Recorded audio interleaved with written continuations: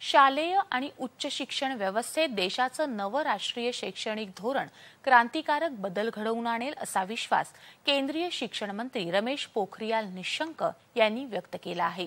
प्रत्येक विद्यार्थ्यासाठी संधीची कवाडं खुली करणं हा या धोरणामागचा उद्देश असल्याचं निशंक यांनी सांगितलं.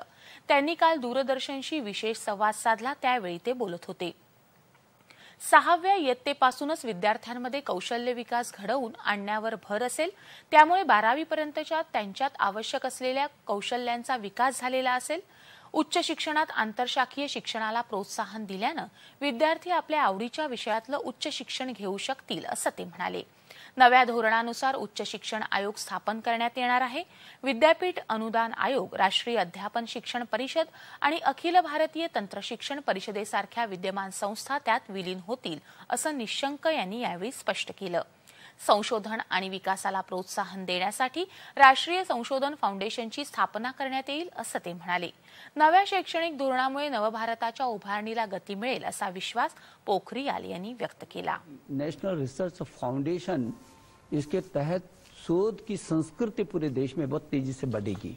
मैं समझता हूँ कि ये जो नई शिक्षा नीति है, इसको हम लोग स्कूली शिक्षा में 100 परसेंट नामांकन जी आर हो ये इसका मुख्य लक्ष्य है। इंटर तक ये जो इंटर तक, स्कूली शिक्षा तक ये सार्वभौमिकरण हो इसका, सबके लिए शिक्षा, ये हमारा टारगेट है कि स्कूली शिक्षा तक हर हालत में सबके लिए शिक्षा उपलब्ध हो। उच्च शिक्षा में भी हमारा अभी जो जी आर है वो मात्र सत्ताईस प्रतिशत है।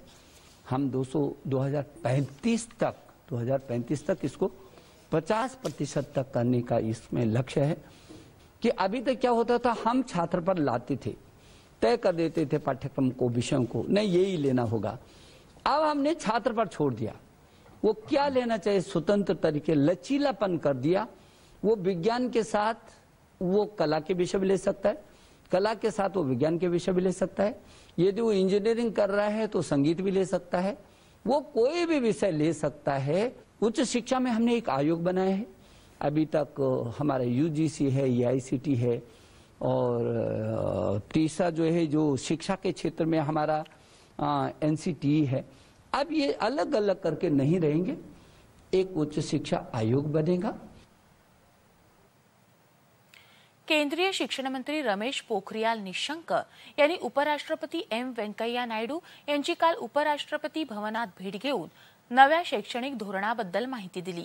उपराष्ट्रपतींनी या दूरदर्शी धोरणाबद्दल आनंद व्यक्त करत विद्यार्थ्यांना दर्जेदार शिक्षण उपलब्ध करून देण्यासाठी हे एक मोठं पाऊल असल्याचं सांगितलं.